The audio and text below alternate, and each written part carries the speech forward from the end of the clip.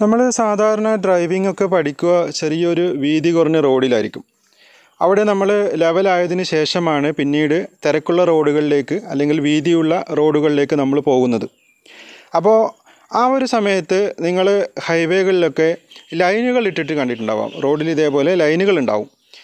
ഇത്തരം റോഡുകളിലേക്ക് എത്തുന്ന സമയത്ത് നമ്മൾ കൃത്യമായിട്ട് എങ്ങനെയാണ് ഡ്രൈവ് ചെയ്യേണ്ടത്? അതിനെ പറ്റിയിട്ടാണ് ഇന്ന് പറയുന്നത്. അപ്പോൾ നിങ്ങളോട് സംസാരിച്ചു കൊണ്ടിരിക്കുന്നത് ഞാൻ സജീഷ് ഗോവിന്ദൻ. നമുക്കറിയാം നമ്മൾ റോഡിന്റെ ഇടതുവശം ചേർന്നാണ് ഡ്രൈവ് ചെയ്യേണ്ടത്. അപ്പോൾ ലൈനുള്ള റോഡാകുന്ന സമയത്ത് വളരെ ഈസി ആയിട്ട് നമുക്ക് കൃത്യമായിട്ട് ഈ ലൈനുകൾ നോക്കിക്കൊണ്ട് ഡ്രൈവ് ചെയ്യാൻ വേണ്ടിയിട്ട് കഴിയും.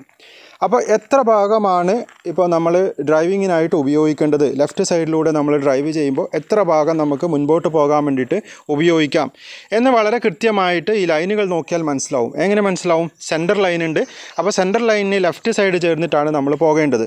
സാധാരണ നമ്മൾ വീതി കുറഞ്ഞ ഒരു റോഡിലൂടെ ഡ്രൈവ് ചെയ്ത് പോകുന്ന സമയത്ത് ഒരുപക്ഷെ നമുക്ക് കൃത്യമായിട്ട് അത് മനസ്സിലാവുകയില്ല. നമ്മൾ എത്ര സ്പേസ് യൂസ് ചെയ്യുന്നുണ്ട് എന്ന് നിങ്ങൾ കൃത്യമായിട്ട് മനസ്സിലാക്കിയിട്ടുണ്ടാവില്ല. കാരണം എന്താണെന്ന് വെച്ച് കഴിഞ്ഞാൽ ചെറിയ വളവുകളൊക്കെ തിരിയുന്ന സമയത്ത് നമ്മൾ ചിലപ്പോൾ റൈറ്റ് സൈഡ് ചേർത്തൊക്കെ എടുക്കും. എന്താ കാരണം എന്ന് വെച്ച് കഴിഞ്ഞാൽ വീതി കുറഞ്ഞ റോഡാണ് അപ്പോൾ സ്വാഭാവികമായിട്ടും ലൈനും കാര്യങ്ങളൊന്നും ഇല്ലാത്തതുകൊണ്ട് നിങ്ങൾ ചിലപ്പോൾ റോഡ് കൂടുതൽ ഉപയോഗിച്ചെന്ന് വരാം. ശ്രദ്ധിക്കൂല. ശ്രദ്ധിക്കാതെ ചെയ്യുന്നതാണ്. പക്ഷേ ലൈനുള്ള റോഡാണെന്നുണ്ടെങ്കിൽ വളരെ കൃത്യമായിട്ട് മനസ്സിലാക്കിക്കൊണ്ട് നിങ്ങൾക്ക് ഡ്രൈവ് ചെയ്യാൻ വേണ്ടിയിട്ട് കഴിയും. അത് നല്ലൊരു ഗുണമാണ് ഡ്രൈവ് ചെയ്യുന്ന സമയത്ത്. പക്ഷേ ഞാൻ പറഞ്ഞു വരുന്നത് എന്താണെന്ന് വെച്ച് കഴിഞ്ഞാൽ പല ആളുകളും ഇത്തരം റോഡിലേക്ക് എത്തിക്കഴിഞ്ഞാൽ വളരെ മോശമായ രീതിയിലാണ് ഡ്രൈവ് ചെയ്യുന്നത്. അത് നമുക്ക് വളരെ എളുപ്പത്തിൽ പുറത്തുനിന്ന് നോക്കിയാൽ തന്നെ കാര്യങ്ങൾ മനസ്സിലാവും. ഇത്തരം ലൈനുകളുള്ള റോഡ് നോക്കിക്കഴിഞ്ഞാൽ നിങ്ങൾക്ക് മനസ്സിലാവുന്ന കാര്യം എന്താണെന്ന് വെച്ച് കഴിഞ്ഞാൽ ഇതിന് കൃത്യമായ ബോർഡർ കൊടുത്തിട്ടുണ്ട്. ലെഫ്റ്റ് സൈഡിലും റൈറ്റ് സൈഡിലും നിങ്ങൾക്ക് ആ ബോർഡർ കാണാം. അതേപോലെ തന്നെ സെന്ററിലായിട്ട് മറ്റൊരു ലൈന് കൂടിയുണ്ട്. അപ്പോൾ കൃത്യമായ ഒരു പാർട്ടീഷൻ കൊടുത്തിട്ടുണ്ട്. ഇതൊരു ടൂ വേ ആണ്. അപ്പോൾ അങ്ങോട്ടേക്ക് വണ്ടി പോകുന്നത് നമ്മൾ ലെഫ്റ്റ് സൈഡിൽ പോകും. ഇങ്ങോട്ടേക്ക് വരുന്നവരും അവരുടെ ലെഫ്റ്റ് സൈഡ് കീപ്പ് ചെയ്തിട്ടാണ് വരുന്നത്. അപ്പോൾ നമുക്ക് കൃത്യമായ കാര്യങ്ങൾ മനസ്സിലാക്കിക്കൊണ്ട് ഡ്രൈവ് ചെയ്യാൻ വേണ്ടിയിട്ട് കഴിയും. ഇത്തരം റോഡുകളിലൂടെ ഡ്രൈവ് ചെയ്ത് പോകുന്ന സമയത്ത് പലരും ഈ ലൈനുകളൊന്നും ശ്രദ്ധിക്കാറില്ല.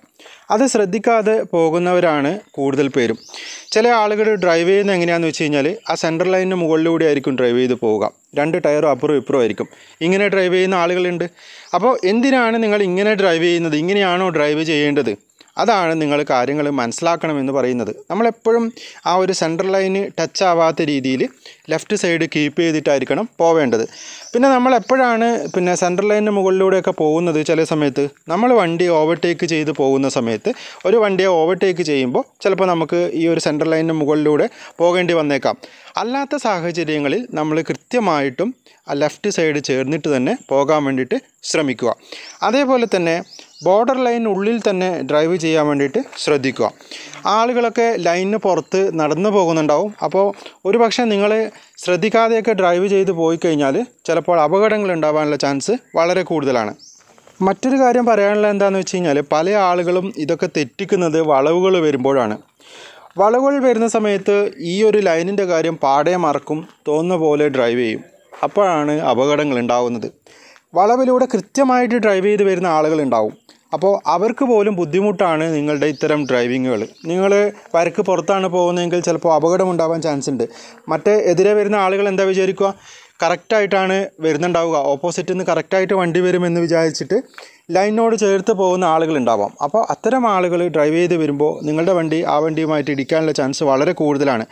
അപ്പോൾ നിങ്ങൾ ഒരു കാരണവശാലും വളവുകളിൽ പിന്നെ ഈ ഒരു ലൈനിന് പുറത്തുകൂടെ റൈഡ് ചെയ്ത് പോകരുത്. അല്ലെങ്കിൽ ഡ്രൈവ് ചെയ്ത് പോകരുത്. അങ്ങനെ പോയി കഴിഞ്ഞാൽ അപകടമുണ്ടാവും. അത് വളരെയധികം ശ്രദ്ധിക്കുക. ഇനി മറ്റൊരു കാര്യം പറയാനുള്ളത് നമ്മളിങ്ങനെ പിന്നെ ഇത്തരം റോഡുകളിലൂടെ ഡ്രൈവ് ചെയ്ത് പോകുന്ന സമയത്ത് നമുക്ക് റൈറ്റിലേക്ക് ടേൺ ചെയ്യണമെന്ന് വിചാരിക്കാം. ആ ഒരു സമയത്ത് നമ്മൾ എന്താ ചെയ്യേണ്ടതെന്ന് വെച്ച് കഴിഞ്ഞാൽ സെൻട്രൽ ലൈനിനോട് ചേർത്ത് വണ്ടി നിർത്തണം. അതിന് മുന്നേ നമ്മൾ ഇൻഡിക്കേറ്റർ കൃത്യമായിട്ട് കൊടുത്തിരിക്കണം. പെട്ടെന്ന് ഇൻഡിക്കേറ്റർ ഓൺ ചെയ്തതിന് ശേഷം ടേൺ ചെയ്യുക അല്ല വേണ്ടത്. നേരത്തെ തന്നെ ഇൻഡിക്കേറ്റർ ഓൺ ചെയ്തിടുക. അതിനുശേഷം നമ്മൾ സെൻട്രൽ ലൈനിനോട് ചേർത്ത് വണ്ടി നിർത്തുക. ഈ നിർത്തണമെന്ന് ഞാൻ പറയുന്നത് എപ്പോഴാണെന്ന് വെച്ച് കഴിഞ്ഞാൽ നല്ല ട്രാഫിക് ഉള്ളൊരു സമയത്ത് നല്ല തിരക്കാണ് നിങ്ങൾ വിചാരിക്കാം.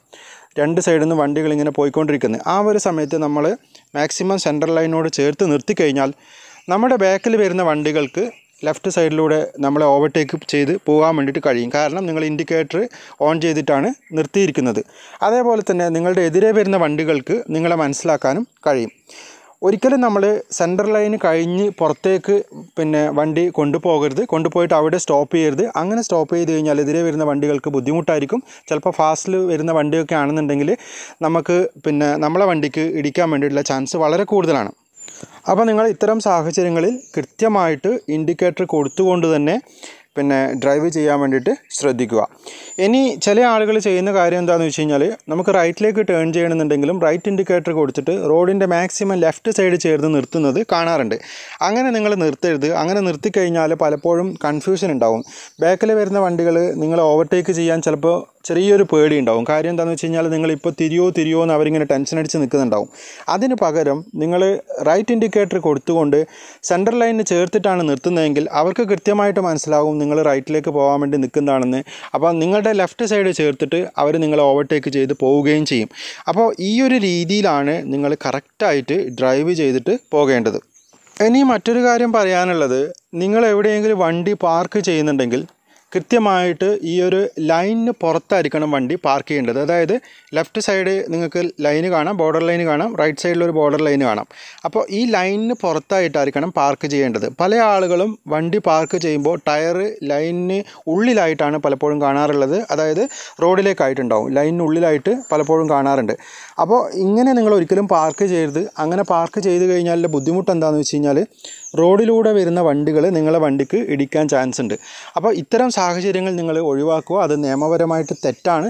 മാക്സിമം ഒരു പിന്നെ ഡിസ്റ്റൻസ് കീപ്പ് ചെയ്തിട്ട് നിങ്ങൾ വെക്കുന്നതായിരിക്കും എപ്പോഴും സേഫ് അതായത് ഈ ഒരു ലൈനിൽ നിന്ന് ഒരു ഡിസ്റ്റൻസ് കീപ്പ് ചെയ്തിട്ട് വണ്ടി പുറത്ത് പാർക്ക് ചെയ്യുക. അപ്പോൾ അല്ലാതെ പാർക്ക് ചെയ്യുന്ന ഒരുപാട് ആളുകളുണ്ട്. ഞാനിപ്പോൾ റോഡിലൂടെ പോകുന്ന സമയത്ത് ഒരുപാട് വണ്ടികൾ ഇങ്ങനെ ലൈനിനോട് ചേർത്തും അതേപോലെ തന്നെ ലൈനിനുള്ളിലായിട്ടൊക്കെ പാർക്ക് ചെയ്യുന്നത് കാണാറുണ്ട്.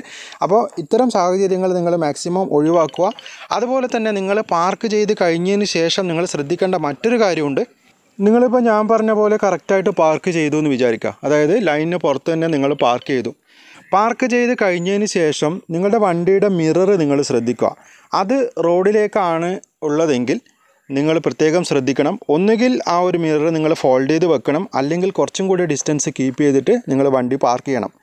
ഞാനിങ്ങനെ പറയാൻ കാരണം എന്താണെന്ന് വെച്ച് കഴിഞ്ഞാൽ നിങ്ങൾ വിചാരിക്കും ഞാൻ വണ്ടി കറക്റ്റായിട്ടാണ് വെച്ചിരിക്കുന്നത്. വണ്ടിയുടെ ടയർ നോക്കുന്ന സമയത്ത് ലൈനിന് പുറത്താണ് കറക്റ്റായിട്ടാണ് വെച്ചിരിക്കുന്നത്. പക്ഷേ വണ്ടിയുടെ മിറർ പുറത്തേക്ക് പ്രൊജക്റ്റ് ചെയ്തിട്ടുണ്ടാവും റോഡിലേക്ക് പ്രൊജക്റ്റ് ചെയ്തിട്ടുണ്ടാവും. അങ്ങനെ ഉണ്ടാവുമ്പോൾ എന്താണ് സംഭവിക്കുന്നത്? ചില വണ്ടികൾ ചിലപ്പോൾ ലെഫ്റ്റ് സൈഡ് ചേർത്ത് വരുന്നുണ്ടാവും. അങ്ങനെയുള്ള വണ്ടികൾ നേരെ വന്നു കഴിഞ്ഞാൽ നിങ്ങളുടെ മിററിനാണ് ഇടിക്കുക. അപ്പോൾ മിറർ പൊട്ടിപ്പോകാനുള്ള ചാൻസ് ഉണ്ട്. അത്തരം സാഹചര്യങ്ങൾ ഒഴിവാക്കുക. ചില സമയത്ത് ആക്സിഡന്റ് അടക്കം ഉണ്ടാവും. ഇങ്ങനെ മിററിന് തട്ടുന്ന സമയത്ത് ചിലപ്പോൾ ബൈക്കുകളൊക്കെ ആണെന്നുണ്ടെങ്കിൽ അവരുടെ കൺട്രോൾ പോകും. അത് ആക്സിഡന്റിന് കാരണമാകും. അപ്പോൾ ഇത്തരം സാഹചര്യങ്ങളിൽ നിങ്ങൾ എവിടെയെങ്കിലുമൊക്കെ പാർക്ക് ചെയ്യുന്നുണ്ടെങ്കിൽ വളരെ കൃത്യമായിട്ട് ശ്രദ്ധിക്കുക. നിങ്ങൾ പാർക്ക് ചെയ്ത് കഴിഞ്ഞതിന് ശേഷം വണ്ടിയുടെ മിറർ കറക്റ്റായിട്ടുണ്ടോ അല്ലെങ്കിൽ റോഡിന് പുറത്തുണ്ടോ എന്നൊന്ന് നോക്കുക. അപ്പോൾ ഇന്ന് പറഞ്ഞ കാര്യങ്ങളൊക്കെ നിങ്ങൾക്ക് മനസ്സിലായിട്ടുണ്ടാവും എന്ന് വിചാരിക്കുന്നത് ഇതൊക്കെ നിങ്ങൾ പ്രാക്ടിക്കലാക്കാൻ വേണ്ടിയിട്ട് നോക്കുക. വീണ്ടും മറ്റൊരു ബ്ലോഗിൽ കണ്ടുമുട്ടാമെന്ന ശുഭപ്രതീക്ഷയോടെ ഞാൻ സജീഷ് ഗോവിന്ദൻ. താങ്ക്